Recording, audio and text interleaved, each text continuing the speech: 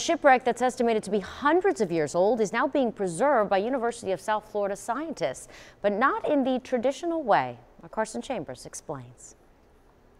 It drew hundreds of people. The shipwreck is centuries old, each plank marked with Roman numerals. Think of it like a giant jigsaw puzzle. You could almost take it apart and use the numbers to put it back together. But as soon as it washed ashore on Ponte Vedra Beach near Jacksonville, the clock started ticking. We can do things very quickly with the type of instruments that we have. USF's Dr. Lori Collins and her team, called in by state archaeologists to 3D scan the wooden schooner that may have sunk in the 1800s.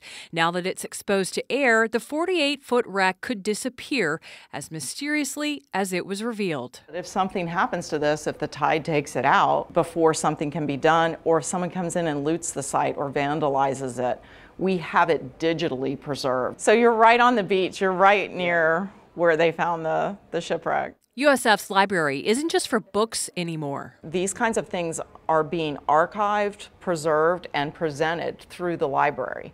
And so at USF, we have an entire 3D initiative out of the library. Students and researchers can now navigate 3D records of finds like these. We were mapping out exact locations of all of the endpoints with the timbers. And they never have to even set foot on the beach. So we're looking at things like tool marks that are made. In Tampa, I'm Carson Chambers, ABC Action News.